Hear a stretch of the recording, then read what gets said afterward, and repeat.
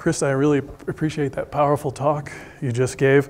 Uh, it's kind of a strange transition, uh, not only not only to be talking uh, about uh, you know a natural resource topic, but uh, but uh, also it, I, am not going to talk ex- exactly about what Senator Stennett just just said.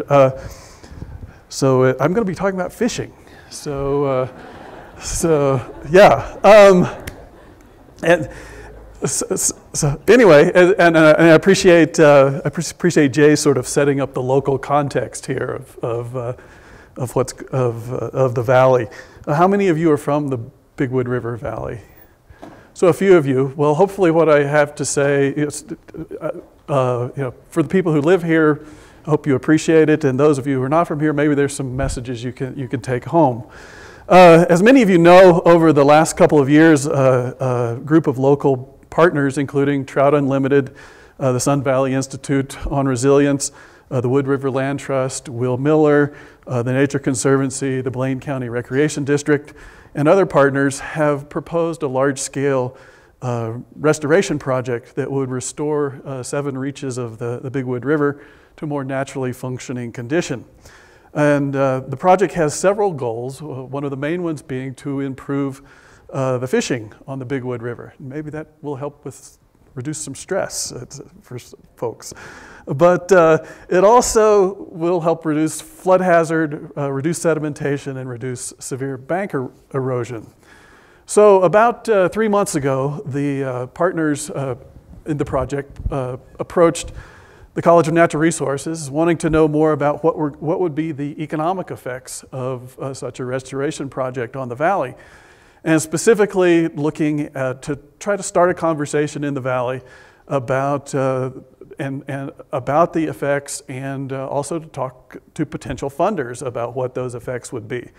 So they asked us to, uh, to put together uh, some estimates rather quickly without connect, collecting any new primary data, uh, using existing information about the river, the project, the fishery, uh, anglers, and the local economy. So I've put together what I call a rapid assessment uh, to sort of to inform the discussion about the, about the project. So the numbers you see today are preliminary, uh, but they're our best estimate given what we know to date and, uh, and for the effects that we've looked at so far. So what are the effects of, of, a, of a restoration project? We are looking specifically at three different types of effects as we move from a degraded river condition to, to a, restored or enhanced river condition. And first are those near term impacts to the local economy that result from the expenditures on the construction or re restoration activities themselves. Then there are the longer term impacts uh, that result from the improved conditions in the river that, uh, uh, that for, and we're specifically looking at the increased recreational use of the enhanced fishery.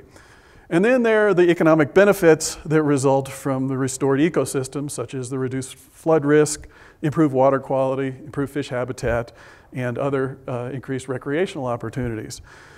And notice that I've used, uh, been very specific in calling one type of, of, economic effect an impact and the other a benefit. And this is intentional because in the world of economics, these are two concepts and, and words, and I use them. They have different meanings and are measured differently.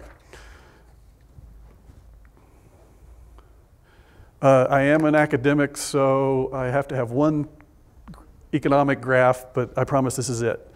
Uh, the, uh, the idea of economic benefit comes out of the world of public sector benefit cost analysis, where we're concerned about efficiency and gains to society from investment of public dollars into public resources. And the Big Wood River is a public resource, and, it, and its fish are too. So, benefit, the idea of benefit is really focused on the consumer. What does the angler gain from a better fishery? What do property owners uh, and the public at large gain from less flood risk? What do, does society gain from having better water quality? Uh, so this figure uh, is just an illustration of what happens when we restore a river and improve the quality of the fishery. More of the resource will be demanded, that is, more fishing, uh, and it creates an increase in benefit to anglers. Economic impact comes out of a whole different part of economics. Impacts are really focused on the producers, uh, the, the folks who supply goods and services in, in an economy. So, how does spending by consumers affect uh, the amount of production and the producers in that region? And an economic impact simply measures the net change to an economy that can be attributed to particular activity. So, in this case, restoring the river. And impacts are measured by, by something called input output models that, that quantify interdependencies between various producers and consumers and in a regional economy. Uh, you've probably all heard the term multipliers. Well, the magnitude of impacts are determined by expenditure patterns within the economy, uh, how expenditures circulate through an economy, and then how quickly they leak out of the economy. So, sort of at the heart of our, our model for both benefits and uh, impacts depends on how anglers respond to improve, an improved fishery. Uh, in our model, uh, as a result of restoration, anglers go fishing more. They spend more days out fishing. Uh, so using some local data from the Idaho Department of Fish and Game, we think there are about, people spend about 31,000 days right now fishing on the river. So with an improved fishery, we assume that uh, the an increase of about one and a half times that over a 15-year time period as the, the as the uh, fishery recovers, and then it stays there for about for at least five years. Uh, so this is a simple response function in the model right now. We know there's annual variation in angler effort based on, on weather conditions, on water, water in the river that year. But we just wanted to show uh, a simple upward tra trajectory. And as we understand more about angler response, we can make adjustments, show variation, and show uh, and, and in potential increase. The other thing that's important from uh, the perspective of economic impact is, uh, is that we, we, we're estimating that about 80% of anglers come from outside Blaine County. Uh, and it's important because non-residents or those uh, represent new money coming into the community and that's what drives economic impact. Uh, so let's talk about some of those, the, the impact side first, and look at the near term impact of spending on, on the restoration treatment themselves.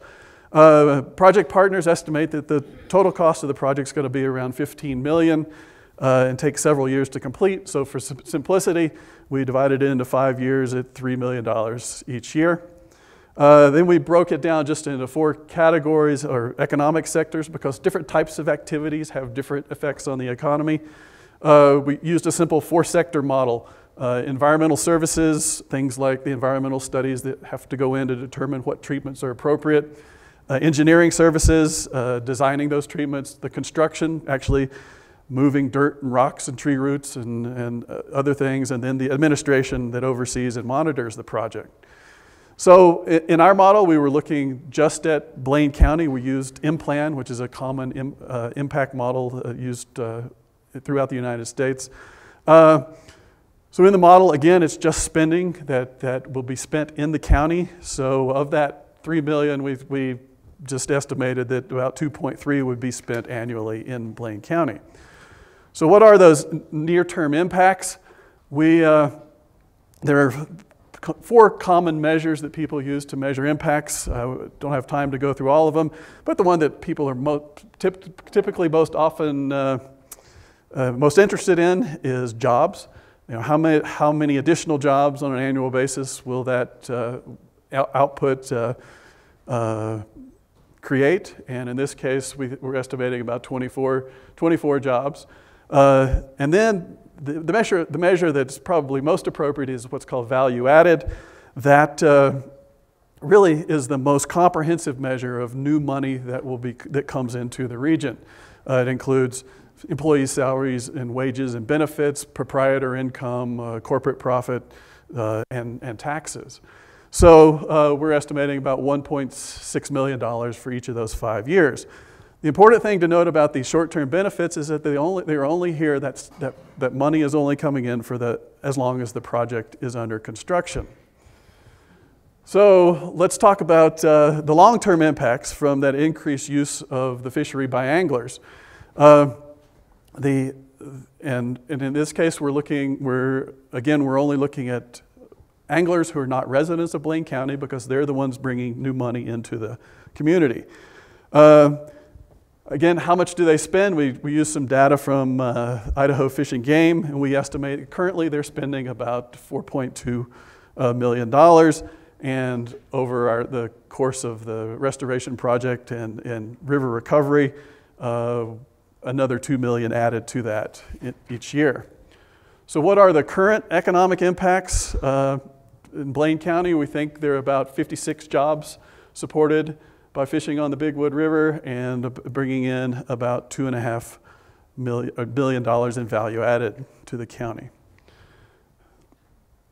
Long term, we see that growing to about 26 uh, jobs added in, in, in, years further out and, and an additional 1.2 million annually.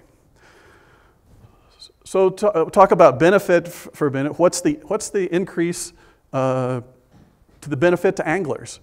Uh, to estimate that value, we have to know how many, uh, what, what's the increase in angler days, but also know how, uh, how much an angler values a day of fishing.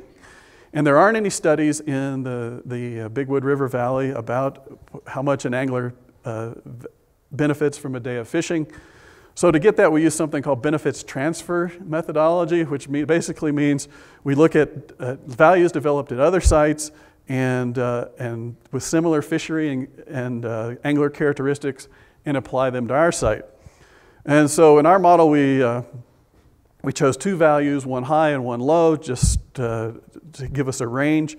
$34 a day comes from uh, a, a, a recent study uh, on trout anglers in streams in central Idaho. And then the $113 comes from uh, a, study done on the Henry's Fork of the Snake River.